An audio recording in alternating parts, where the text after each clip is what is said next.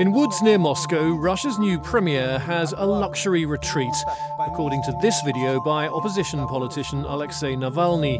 The video, posted online on January the 28th, follows a series of Russian media reports of multi million dollar assets belonging to Prime Minister Mikhail Mishustin and his family.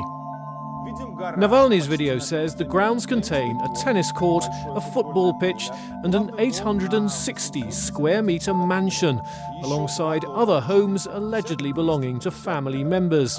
The source of Mishustin's wealth is unclear, though Navalny has his explanation. Мы собирали досье на Мишустина аж с 2015 года. Почему? Потому что всегда знали, что он вор и коррупционер. У нас есть все документы со всеми фамилиями и со всеми доказательствами. И сейчас мы расскажем вам, кто же стал вторым человеком в России. When Russian President Vladimir Putin announced the new prime minister on January the 15th, many Russians had never heard of Mikhail Mishustin. He was a bureaucrat, head of the tax authority, and most media attention focused on what the change revealed about Putin's future plans. But this soon changed. The Projekt website reported his mansion was worth $10 million. And it was said that two of his sons attend a Swiss boarding school with annual fees of around $130,000.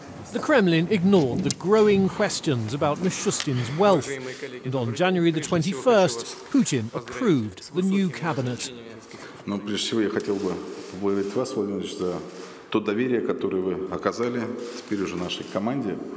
Мы все хорошо осознаем, что задачи, стоящие перед нами, непростые. Приложим все усилия, чтобы их while the Kremlin was silent, pro government news website Kommersant said Mishustin made his money during two stints in private business.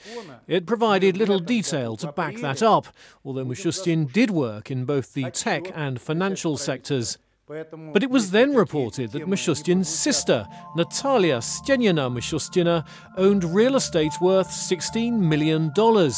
A brief stint working for Aeroflot is all that's known of her career, though she was allegedly gifted a 750 square metre mansion by an associate of Mishustin in 2009. Alexei Navalny also claimed that two central Moscow apartments, worth $2.8 million each, were transferred to Mishustin's sons by celebrity restaurateur Arkady Novikov. Novikov declined to confirm this Нет, а, хорошо, тогда скажите нам, вы их продали, эти квартиры?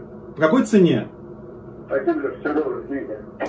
Until recently, Mishustin was unaccustomed to the limelight. His sudden rise to political prominence has raised awkward questions. But so far, there's been no serious effort to answer them.